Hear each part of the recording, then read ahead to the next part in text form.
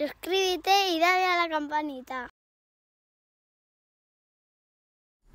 Muy buenos días, mis queridos criptotiburones. Bienvenidos un día más a un nuevo análisis mañanero.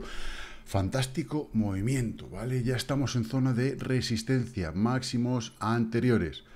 Punto difícil. Es el punto que hay que pasar. ¿Para qué? Para que se cumplan las previsiones de ir al menos hasta... Vamos a ponerlo así para que se vea mejor. A ver, vamos a bajar un poquito por aquí, otro poquito por aquí, para que nos den espacio, a robarles un poquito a los indicadores, porque es importante, es importante tener claro, ¿vale? Que lo que tenemos que hacer es romper los máximos relativos anteriores, ¿vale? A poder pasar hasta esta línea de tendencia, a ver, que toca en este punto, bueno, si la extendiéramos tocaría a este pico, ¿vale? Toque, toque, toque, más o menos, nos vendría por ahí, o un poquito más arriba, más o menos. Toque, otro toque aquí, otro toque aquí, otro toque aquí, ¿vale? Ha sido apoyo, con lo cual va a ser una resistencia. Y además es un TP2 que tenemos marcado desde hace mucho tiempo, mucho tiempo, de hace meses, ¿vale? Con lo cual, ese es el objetivo principal de este movimiento. Ahora bien, ¿cuál puede ser el objetivo mm, falso? Es decir, si estamos dentro de este canal más grande, el siguiente objetivo podría rondar la zona de los 35. Los 35 ya sabemos que tenemos ahí en 35 y medio un gap con los futuros del CME, con lo cual el cierre de ese gap podría marcar el techo final total del todo. Pero bueno, yo en principio eh, ya sabéis que una parte de la estrategia que tenía ya lo he vendido. A partir de aquí, la parte comprada entre 16 y 22K, ¿qué hacemos? ¿Yo qué voy a hacer? Bien, pues entre los 33, 3 aproximadamente, 33, 350 si no me equivoco, eh, tengo medido, ¿vale? Hasta los 35, 550 pondré varias ventas. No sé si del total o yo creo que al menos me quedaré con un 20%. ¿Por qué? Porque la situación económica, la situación real, los posibles tienes dinero que pueden venir son muchos. Y porque históricamente, y lo expliqué en el vídeo de ayer, ahí tenéis todas las motivaciones reales. Eso es lo que nos ha marcado. Tenemos eh, RSI arriba en diario, tenemos RSI arriba en 4 horas, tenemos RSI arriba en una hora. A ver, no sé, cada uno que aplique la lógica que quiera. Evidentemente no es el punto exacto, no. Evidentemente todavía, todavía, y bajo mi humilde opinión, ¿queda ese impulso hasta ahí arriba? Sí. Pero que a medida que el precio sube, reduce tus riesgos, también. Os invito a ver el vídeo de ayer, cada uno que haga lo que crea conveniente. Por ahí arriba eh, me imagino que os saldrá en algún punto del vídeo.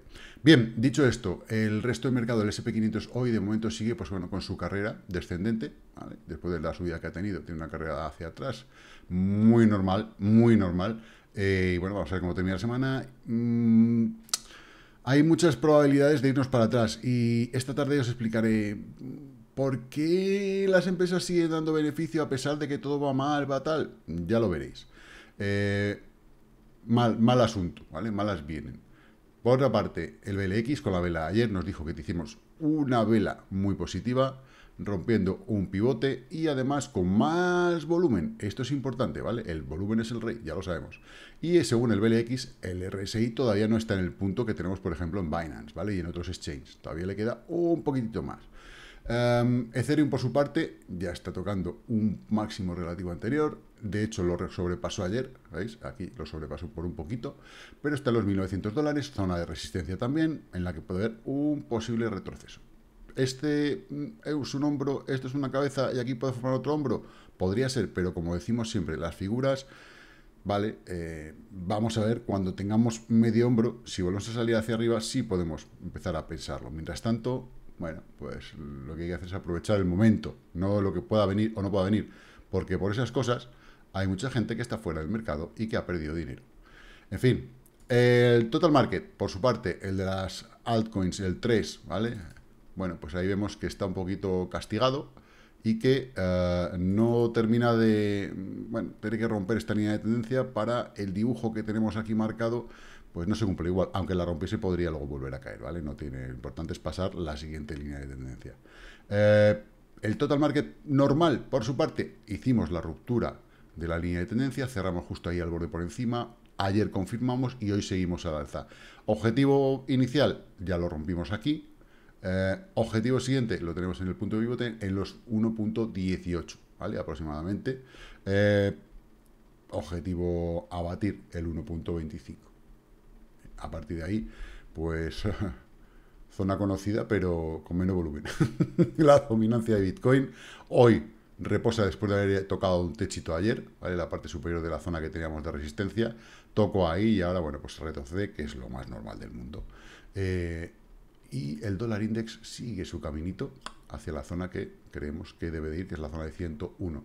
Por su parte, las altcoins. Litecoin sigue camino al alza, muy bien, rompió ayer y hoy está confirmando por encima de la línea de tendencia. Importante que cierre muy, muy pegadito, lo más pegadito posible a la zona de 90.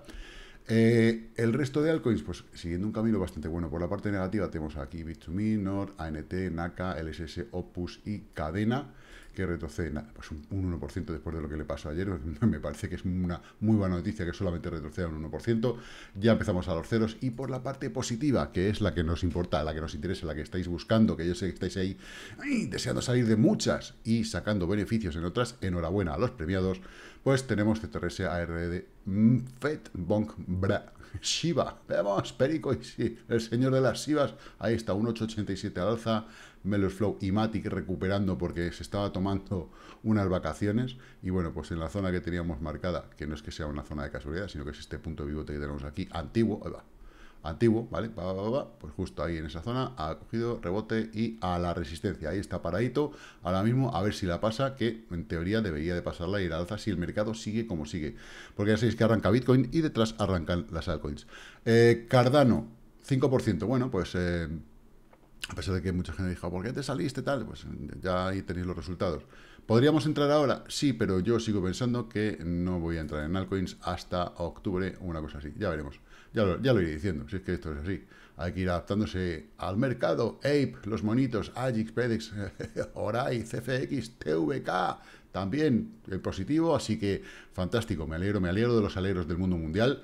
Así que enhorabuena a los premiados y recordar que cuando las cosas rebotan son para intentar salir, no para meterse más líos, recuperar capital y volver a replantear la estrategia a ver qué hacemos. Entonces, chicos y chicas, no me enrollo más, como digo siempre, invertir con mucha cautela, guardar liquidez para las oportunidades que van a venir como esta que hemos tenido y que la paciencia os acompañe. Chao, chao.